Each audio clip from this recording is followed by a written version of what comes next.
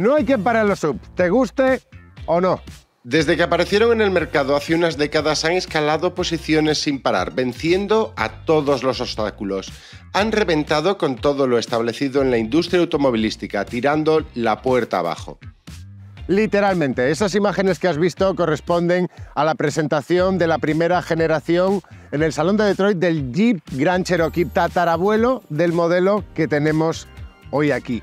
Era el año 1992 y Jeep buscaba replicar pues el éxito que ya había tenido con el Cherokee, el hermano pequeño de este coche y que muchos consideramos el primer submoderno de éxito de la historia. Además, el Gran Cherokee traía al mercado un nuevo segmento, el de los sub premium, el de los sub de lujo y de hecho, esta unidad que tenemos hoy aquí cuesta nada más y nada menos que 100.120 euros. Hay tantas variantes que las ventas de SUP han ido subiendo como la espuma en los últimos años. En España suponían en torno al 10% de las ventas en 2010. Cinco años después alcanzaban el 18%. 2020 fue el año en que superaron las matriculaciones del resto de carrocerías.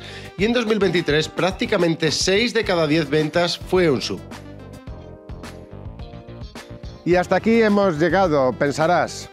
Pues lamentamos decirte que creemos que no. Y para ello, pues hemos echado un vistazo a las ventas de Estados Unidos, que es el país donde comenzó la locura sub.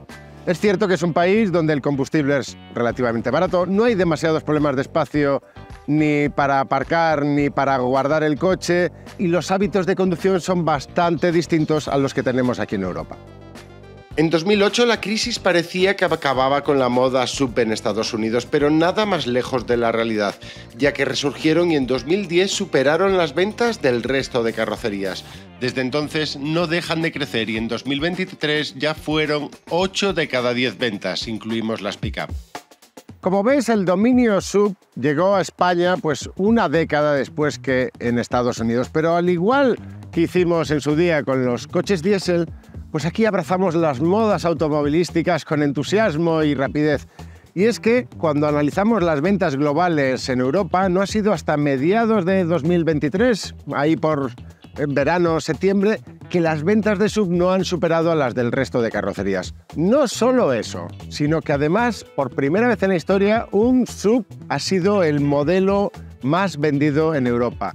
Ese no es otro que el Tesla Model Y, que además es eléctrico. Pero yo veo a este Gran Cherokee, veo al Tesla Model Y y la verdad es que tiene muy poco que ver. Y luego piensas en, yo qué sé, en el Seat Arona, por decirte el sub más vendido en España y no tiene nada que ver ni con uno ni con el otro. Y luego piensas, yo qué sé, en el Ferrari puro sangue, por ejemplo, y no tiene nada que ver con ninguno de los tres modelos que te hemos citado. Y eso nos lleva a hacernos una pregunta. ¿Qué es un sub? Y como tenemos hoy aquí al Jeep Grand Cherokee, que es un modelo de enorme importancia histórica en la historia de la automoción, valga la redundancia, vamos a intentar explicártelo. Empezamos. Descubre en coches.com las mejores ofertas de renting vehículo nuevo y vehículo de ocasión. Decide con cuál te quedas y sobre todo disfruta. Coches.com. Desata tu movilidad. ¿Qué es un SUV? Tranquilos, esta vez no me he traído el diccionario de la Real Academia Española de la Lengua, que es lo que suelo traerte cuando intento explicarte los términos. Y es que sub no aparece. Para que lo entiendas fácilmente, un sub es una mezcla entre un turismo convencional y un todoterreno.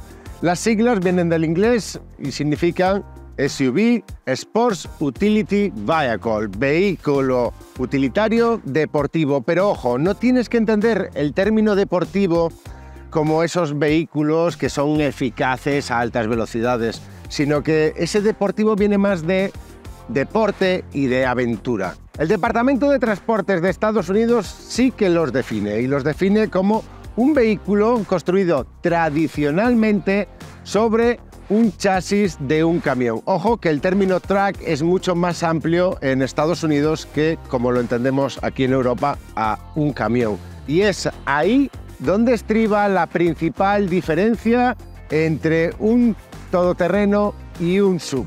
Su arquitectura. Un todoterreno se asienta en un chasis de escalera, también llamado de largueros y travesaños. Sobre esa base se asienta habitáculo y carrocería, que es una estructura independiente. Son robustos y fáciles de reparar, pero muy pesados. Un turismo se realiza sobre un chasis monocasco donde el bastidor y carrocería son un conjunto indivisible. Son más ligeros, fáciles de fabricar y facilitan tener más espacio interior, pero no tan resistentes a un uso extremo. Historia de los sub. Coger la base técnica de un turismo y colocarle encima una carrocería con forma de todoterreno no fue idea de Jeep, pero sí que fueron los primeros que lograron popularizar la idea. Y a fin de cuentas, piénsalo, ¿quién no quiere un vehículo de uso mixto con una imagen robusta tipo Wrangler y al mismo tiempo práctico como un vehículo convencional? Hablamos del Jeep Cherokee, construido sobre un chasis monocasco y estética ruda. Con tracción total y una buena altura libre al suelo, tenías un coche que valía perfectamente para circular por los caminos de la América profunda. Era 1974, un año después de la crisis del petróleo. La gente empezaba a mirar el consumo de carburante, incluso en Estados Unidos. Disponible con 3 y 5 puertas, arrasó en ventas. Y luego otras marcas copiaron la idea. Fueron vitales en el auge de los submodelos como el RAV4 de Toyota y aquí en Europa el Nissan Qashqai, que ya renunció sin tapujos a cualidades camperas, combinando lo que entendemos como un sub y un turismo, que es lo que hoy muchos llaman crossover. Ahora hay centenares de opciones en todos los formatos. Cherokee RAV4 y Qashqai fueron los tres modelos que empujaron a la industria a fabricar sub en masa. Pero antes hubo otros modelos que podríamos considerar algo así como la prehistoria de los sub. Los precursores. Esos tres vehículos, Cherokee, RAV4 y Qashqai, están creado sobre un chasis monocasco. Y este fue un invento bastante antiguo, de hecho es un invento de Lancia que lanzó en 1922 con el Lamba, pero en aquella época a nadie se le ocurrió hacer un vehículo con capacidades off-road sobre esa base técnica. Más bien el camino fue, al contrario, crear versiones de pasajeros de los auténticos todoterreno. El más señalado por todos como precursor original fue el Chevrolet Suburban Carryall de 1935, un coche con las dimensiones de una furgoneta con capacidad para 8 pasajeros y mucho equipaje. Un motor de 6 cilindros de 60 caballos movía las ruedas traseras y era ideal para moverse por caminos, y es que apenas había carreteras en condiciones antes de la Segunda Guerra Mundial. La contienda mundial fue el punto de inflexión en el mundo de los todoterrenos. El más conocido de la historia sin duda es el Jeep Willys, que es la base, el precursor del actual Jeep Wrangler. Pero al otro lado del telón de acero que se estaba fraguando en esos momentos, también hay algunos modelos muy interesantes, incluso previos al Willys. Pero ¿qué pasa? Que son menos conocidos. Uno de ellos es el GAZ 61, fabricado en 1940 por la empresa soviética GAZ. Era un coche muy curioso porque tenía obviamente tracción total y era capaz de superar pendientes de 38 grados y vadear ríos de hasta 62 centímetros de profundidad.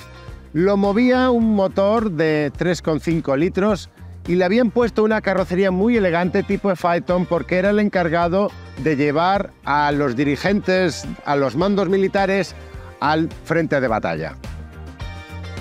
Mencionamos a Gaz porque suyo fue el primer sub de la historia tal y como lo concebimos hoy al día. Hablamos del Gaz M72, realizado sobre un chasis monocasco, su carrocería estaba 15 centímetros más elevada que la berlina Gaz M20 Póveda de la que derivaba y tenía una tracción total adaptada del Gaz 69, que era la copia comunista del Jeep lanzado en 1955, era ideal para moverse por las estepas de la extinta Unión Soviética. No había entonces en el mundo un 4x4 más cómodo. Se fabricaron apenas 4.677 unidades en tres años, pero todavía hoy circulan muchas unidades por las carreteras de los países exsoviéticos. Si el comunismo tuvo versiones civiles de sus todoterrenos militares, ¿cómo no iba a aprovechar el capitalismo ese filón de mercado? Pues eso ocurrió nada más y nada menos que en 1946, solamente un año después de acabar la Segunda Guerra Mundial con el Jeep Willys Station Wagon. La idea desarrollada por Brooke Stevens fue darle al todoterreno una cabina metálica para que pasase de saltar trincheras a llevar a la familia por caminos o al centro comercial. Bueno, igual en aquella época iba más a la iglesia que al mall. Realizado sobre un chasis de escalera, era más cómodo y versátil que un Jeep, pero ojo, no tenía tracción total, era de propulsión. Pros y contras de los sub. Llegados a este punto, creo que ya todos podemos entender que los subs están pensados para ser coches versátiles, capaces de moverse por diferentes superficies sin llegar a ser tan capaces como un todoterreno. Obviamente, eh, al estar en un término medio, esto nos deja con algunos pros y algunas contras. Vas a ganar ciertas cosas y vas a perder otras. Hemos decidido sintetizarlo en cinco puntos. Cinco puntos a favor de los subs y cinco en contra. Si eres propietario de un sub y crees que nos hemos olvidado de alguno, te invito a usar ahí las cajas de los comentarios para que nos cuentes por qué la gente debería apostar por este tipo de vehículos. Si por el contrario los odias y los aborreces, pues también te invito a que abramos un acalorado debate ahí abajo y nos cuentes por qué no deberías comprarte un sub en tu vida. Y vamos a empezar, me da igual por los pros y por los contras, así que que lo decía la suerte. Empezamos por los pros. Ventajas de los sub. Primero, imagen. No compras de igual modo un vehículo que una lavadora. En los coches hay un componente emocional y los propietarios de coche cuando pueden permitírselo pues buscan que su vehículo proyecte una imagen de él mismo determinada. En los años 80 nos conquistaron los coupés. Ahora el coche de moda es el sub, más grande que un turismo convencional con mayor presencia y poderío. Segundo, versatilidad. ¿Cómo contamos con una mayor altura libre al suelo? Independientemente de que el coche tenga tracción 4x4, va a ser más fácil ir por caminos o sortear pequeños obstáculos. No hablo de zanjas, sino de badenes, bordillos o baches y sí, podrás aparcar de manera irregular en zonas donde otros coches rascan los bajos. 3. Acceso y visibilidad. Como tenemos un vehículo más grande, también tenemos unas puertas de mayores dimensiones para acceder al habitáculo. Además, siempre es más fácil subirse a un coche que bajarse a él. Si sufres de dolores de espalda, articulaciones o cuello, agradecerás un sub. Además, como vas sentado más alto, ves mejor lo que te rodea. 4. Amplitud. Como tenemos unas ventanillas más verticales, un parabrisas mucho más alejado y una mayor altura libre al techo, tenemos una mayor sensación de amplitud. Detrás es más sencillo subir a un niño a una sillita o ayudarle a ponerse el cinturón sin tener que agacharse y como son más anchos, son mejores para ir tres personas detrás. Algunos modelos permiten mover la banqueta trasera longitudinalmente y hay opciones con siete plazas. Comparado con un monovolumen no tienen un interior tan modular y esos asientos extra no son tan generosos, pero ahí están.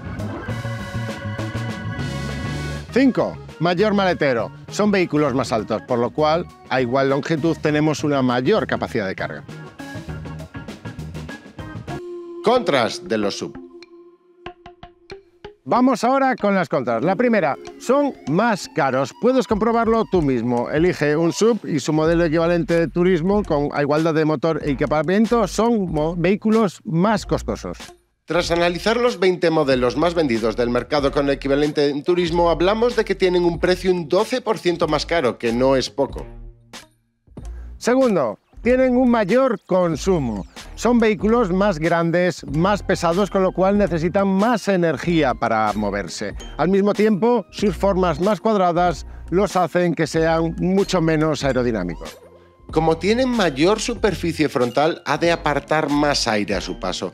Gasta entre un 10 y un 15% más si comparas un turismo y un sub con la misma mecánica. Se nota mucho más en motores de gasolina que en diésel. Tercero, un mayor gasto de mantenimiento. Según un estudio de Euromaster, los neumáticos de un sub tienen una vida un 30% inferior a la de un turismo convencional. Si además eliges ruedas de llanta grande con poco flanco, peor, porque los componentes del neumático son más rígidos y van a durar menos.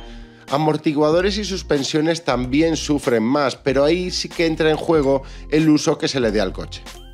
4. Peor dinamismo. A un coche más alto, más voluminoso y más pesado le cuesta más tomar las curvas. I can't see past all the SUVs. Don't worry about the SUVs. There's a gentle curve up ahead.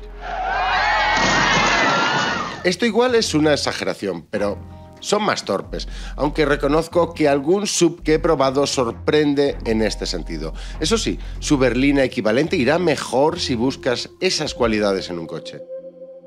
Y quinto, son menos seguros. Obviamente un vehículo con estas formas, de este volumen, pues le cuesta más esas reacciones rápidas ante un accidente como acelerar, frenar o esquivar un objeto. Eso sí, en caso de choque contra otro vehículo, siempre tiene las de ganar el que lleva el coche más grande. Eso da una falsa sensación de seguridad y es bastante injusto con quien no puede permitirse comprar un vehículo tan grande y sobre todo con los peatones. Un reciente estudio de Science Direct alerta de los peligros de tener un capó tan alto y vertical. Indican que por cada 10 centímetros más de altura que crece el capó de un vehículo, se vuelve un 22% más mortal para los peatones. Lo mismo indica el IHHS, el Euroncap estadounidense. Si el capó levanta más de un metro del suelo, tienen un 45% más oportunidades de causar víctimas con un capó de 76 centímetros o menos. En resumen, un sub tiene un diseño que gusta más, es más amplio y confortable para una familia y tiene mayor capacidad de carga. Por sus contras, pues obviamente ya te los hemos dicho, necesitas más dinero, tanto para comprarlo como para mantenerlo, y luego tienes un vehículo que se comporta en carretera, pues algo peor y no resulta tan seguro. De nuevo, te animo a usar la caja de comentarios para que nos digas qué piensas sobre estos aspectos. Los subs de lujo. Parte de esas contras se resuelven a base de tecnología. Montas en un coche de mayores dimensiones, pues unos mayores frenos, unos mejores amortiguadores, motores más potentes, cajas de cambio más eficaces y capaces. Pero claro, eso eleva el precio y eso es precisamente lo que hacen los subpremium. Estas carrocerías empezaron a llamar la atención de los fabricantes premium, de los fabricantes de lujo, porque vieron ahí una enorme oportunidad de negocio y obviamente la aprovecharon. Te contábamos antes que el Jeep Grand Cherokee fue el primero en 1992 en inaugurar este segmento, pero antes hubo otras propuestas. Fue otro Jeep, el Wagoner lanzado en 1963, el considerado por muchos como primer 4x4 de lujo, con todas las comodidades de cualquier automóvil. A la versión Super Wagoner presentada en 1966 la movía un motor V8 y tenía aire acondicionado, techo solar, asientos con ajustes eléctricos, cosa que no tenía ningún todoterreno en la época. De ahí que costase más del doble que un Wagoner clásico. En 1970 aparecería el Range Rover original que pretendía combinar la comodidad en la carretera de una berlina Rover con la capacidad todoterreno de un Land Rover. Al igual que con los subgeneralistas, esos primeros subpremium pues tenían más que ver con los todoterreno porque usaban un chasis de escalera. De hecho, el Land Rover no utilizó chasis monocasco hasta su tercera generación, hasta el año 2021. Pero justo antes de esa fecha, antes de llegar al siglo XXI, llegaron otras propuestas con las que vamos a comparar hoy a este Jeep Grand Cherokee. En 1997 llegó al mercado el Mercedes ML, que es el actual Mercedes GLE.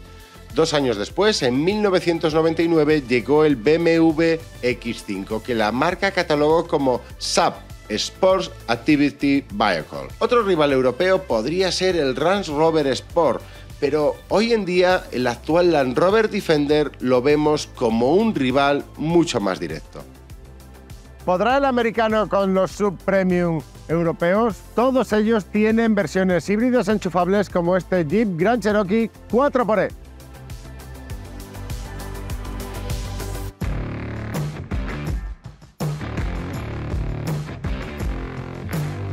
No vamos a extendernos demasiado en el diseño de este coche porque no es, el objetivo del vídeo. Además, puedes verlo tú mismo y Jorge está hoy ahí grabando unos planos maravillosos para que tú puedas verlo y opinar. Eso sí, un par de detalles no nos faltan aquí. Las parrilla superior dividida en siete partes, muy muy clásico de los Jeep y nos dice la marca que todo este morro y toda esta parte frontal intenta imitar a la cabeza de un tiburón. Ópticas, pues muy modernas, divididas en dos y la verdad, aunque tenga esos detalles clásicos, sí que vemos el coche como un modelo totalmente nuevo. No podemos dejar de ver esta enorme toma de aire inferior y luego ya si nos vamos hacia el lateral, pues detalles que nos gustan, como estas llantas de 21 pulgadas que tiene el acabado Submit y vemos que todo el conjunto es un coche muy sólido y muy robusto al mismo tiempo, o sea, imponente, vamos a decir. Eso sí, la línea de cintura, que siempre es muy alta en los sub, pues aquí se ha reducido en respecto al modelo precedente y esto nos da, más superficie cristalada. Y esto, créeme, es bueno. ¿Por qué? Porque tenemos más luz en el interior y también una mejor visibilidad. Acabado Sub Mid Reserve que tenemos, pues tenemos detalles cromados en algunos sitios, dándole ese toque de elegancia y nos ha gustado mucho cómo cae en forma de cuña este pilar trasero. Es un coche grande de 4,91 metros de longitud, de los que casi 3 metros, 2,96 corresponden a la distancia entre ejes. Otras cotas son el metro 96 de ancho o el metro 79 de altura. Puedes pensar que se vende poco debido a esas dimensiones, pero un BMW X5 o un Mercedes GLE son más largos. Solamente el Land Rover Defender es notablemente más corto en su versión 110. En un vehículo polivalente, son de vital importancia las cotas off-road. Las mejores sin duda son las del Defender, pero un Jeep Grand Cherokee no se queda tan atrás, salvo en el ángulo ventral y el de salida. Se notan sus mayores dimensiones. Tienen tracción total y van muy bien por caminos, pero los subpremium alemanes no están tan preparados para superar obstáculos. Interesante también aquí el coeficiente aerodinámico. Se ve enorme, con una superficie frontal de casi 3 metros cuadrados. Son 2,95 metros cuadrados, pero tiene un mejor CX que el Defender. Resulta alucinante la cifra que anuncia el Mercedes, de 0,29 CX. Por diseño, el interior del Jeep Grand Cherokee nos ha recordado un poco al del Compass, pero aquí sí que se respira realmente un ambiente premium, sobre todo en este acabado Summit Reserve, que es el más alto de gama. Y es que tenemos cuero aquí en el salpicadero, cuero también en estos asientos que son maravillosos, con ventilación, calefacción y un montón de funciones de masaje y cuero también incluso en puertas, pero en toda la puerta, incluso abajo en la parte de las bolsas de las puertas está recubierta en cuero y nos ha gustado especialmente toda esta madera de nogal que encontramos aquí en el salpicadero, en las puertas o en este volante. También, ojo, detalles de metal de verdad como aquí en el selector del cambio y lo único que afea un poco el conjunto es toda esta consola central que abusa del, del negro piano que se ensucia mucho, sobre todo en un coche que puede salir, como verás, bastante del asfalto en sitios donde suele haber polvo. En general, el salto evolutivo es brutal en este coche en cuanto a calidades, también muy buena calidad de realización, pero queremos que un pelín por detrás del de sus rivales europeos, que además también tienen mayores posibilidades de personalización. No falta tecnología, desde la instrumentación digital con una pantalla de 10,25 pulgadas que tiene distintas opciones de visualización a la central, que no es muy grande para el estándar actual, 10,25 pulgadas, pero es más que suficiente y el sistema Uconnect resulta bastante fluido. Además, tenemos un montón de botones físicos, tanto del climatizador como otros en la parte superior e inferior, que resultan muy útiles como accesos directos. La sorpresa, la pantalla de 10,1 pulgadas enfrente del copiloto para que pueda ver contenidos, incluso vídeos. Y no, no se puede ver desde el asiento del conductor. Aquí detrás también una enorme sensación de amplitud piano para dos, porque este coche es tan grande que podrían caber incluso tres personas aquí detrás o bien un adulto entre dos sillas de retención infantil como hemos tenido aquí estos días, porque el túnel de transmisión no es demasiado intrusivo en este vehículo. Y luego, pues, muy buenos acabados también aquí detrás, da gusto, tanto asientos que están ventilados y calefactados, tenemos también climatización independiente, un montón de tomas USB-C, USB normales, una de 230 voltios e incluso unas cortinillas para estas ventanillas. Es que tiene de todo. Punto negativo, el Gran Cherokee 4XE no está disponible en Europa con versión de 7 plazas. En Estados Unidos sí que existe. Es el Gran Cherokee L con tres filas de asiento y más modularidad. Tampoco sus rivales cuando lo eliges con mecánica híbrida enchufable, pero sí puedes elegir un Mercedes GLE, un BMW X5 o un Land Rover Defender 110 con 7 plazas, siempre asociados a motores de combustión microhíbridos. Además, sus gamas son más completas en carrocería, ya que si quieres un aire más deportivo, ahí están los GLE Coupé o BMW X6 y en el caso del Defender, una carrocería más corta, el Defender 90, y una más larga, el Defender 130. El maletero anuncia 533 litros de capacidad. Sin ser una mala cifra, la verdad es que no resulta apabullante para tratarse de un vehículo de casi 5 metros de largo. Claramente le penaliza el sistema de propulsión híbrido, pero ojo, mucho menos que a sus rivales de tamaño similar. Solamente el BMW X5 alcanza los 500 litros. Obviamente puedes abatir los respaldos de los asientos traseros para ganar capacidad, logrando un espacio de 1160 litros hasta la altura de las ventanillas. Está bien rematado y tenemos una alfombrilla reversible para poder llevar en seres húmedos sin manchar el coche.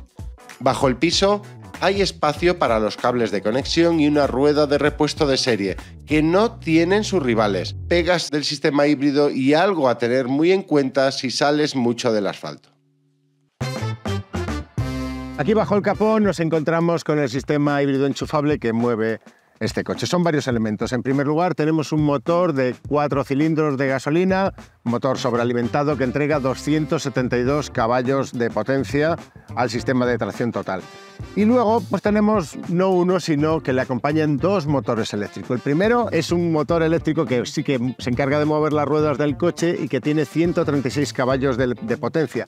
Está integrado en la caja automática ZF de 8 relaciones, que es una caja automática por convertidor de par. Y luego tenemos un segundo motor eléctrico que se encarga ya no de mover el coche, sino de generar energía eléctrica para alimentar todo el sistema.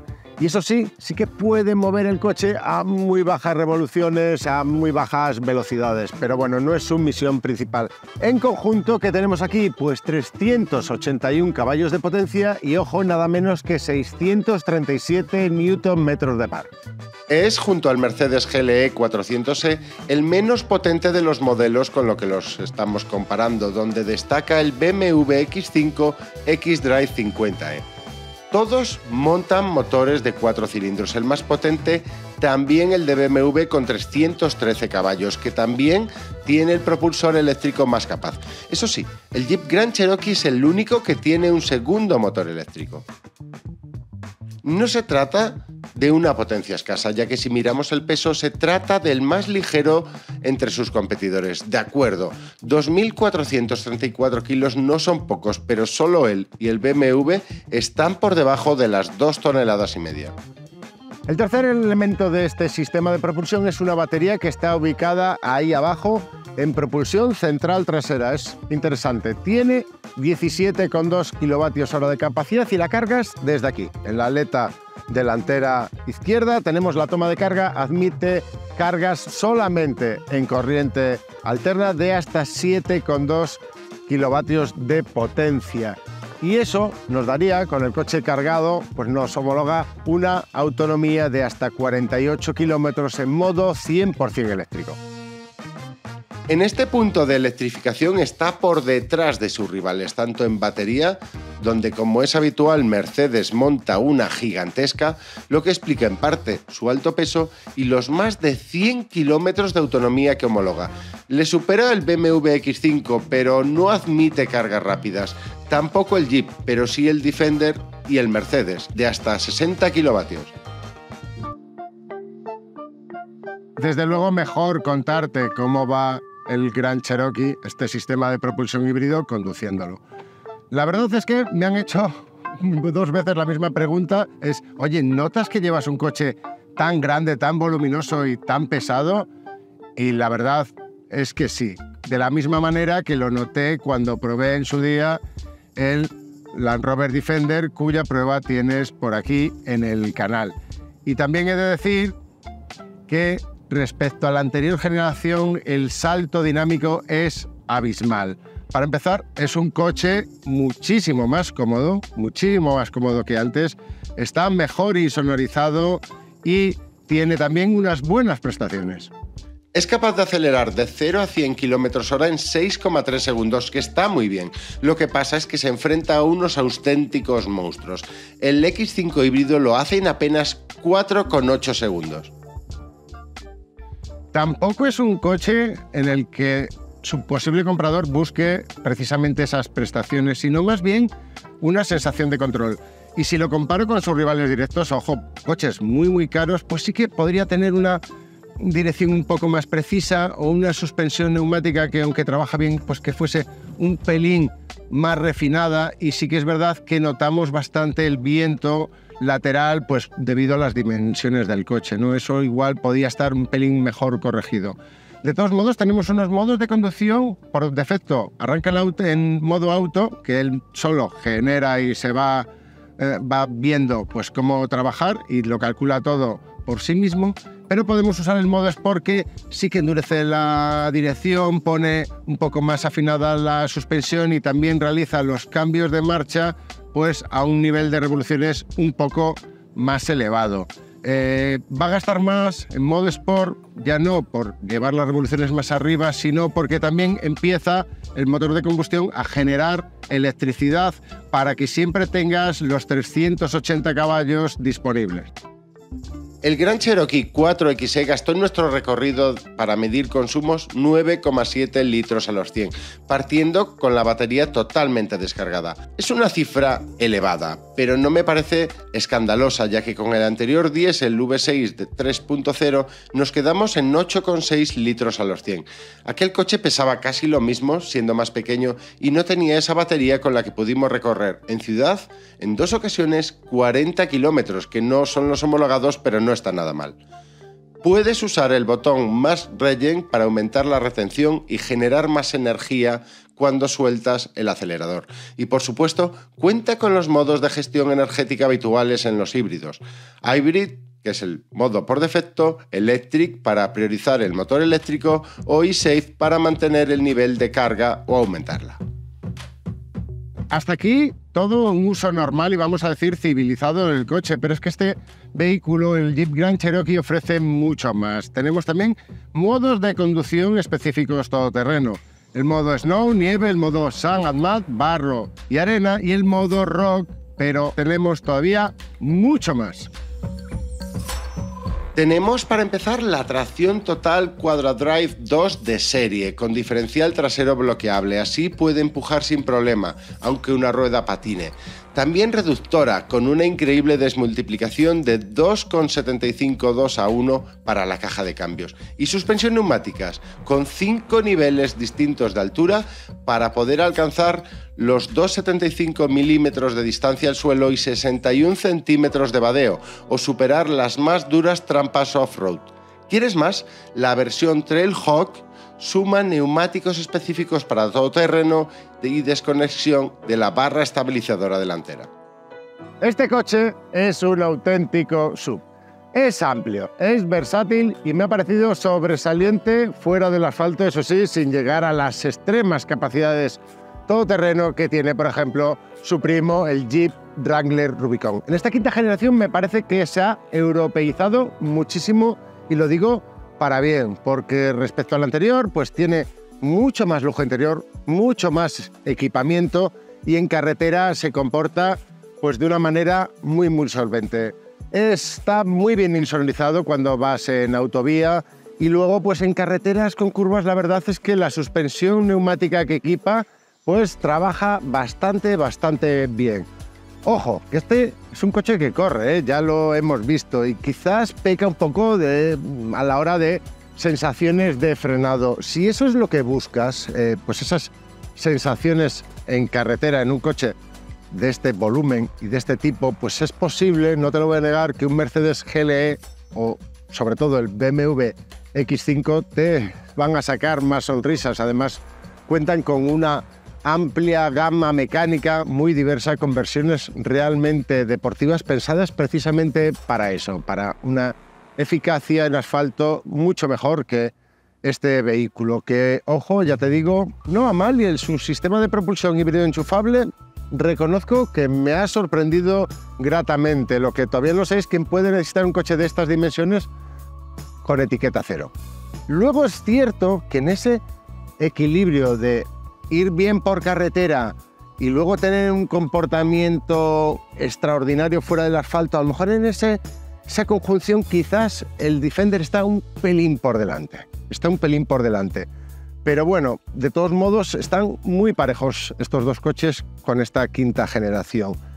También, no lo voy a negar, estamos hablando de coches que cuestan prácticamente seis cifras. Cualquiera de los cuatro que te estamos mencionando a lo largo de este vídeo va a ser bueno y te va a gustar con casi total seguridad. Eso sí, si puedes pagarte las seis cifras que cuestan. De partida, el Gran Cherokee cuesta 83.250 euros en el momento de grabar este vídeo. Un dineral, pero menos que el Defender híbrido enchufable que va mucho menos equipado. El Mercedes, con mayor batería y el BMW mucho más capaz, se van todavía más lejos. Y sí, la unidad que probamos con acabado Sumi Reserve cuesta 100.250 euros. Una barbaridad para la mayoría, pero de nuevo menos que sus rivales si igualas el equipamiento. Eso sí, si quieres este coche con estándar de gigante americano un precio más reducido, no te olvides de visitar coches.com.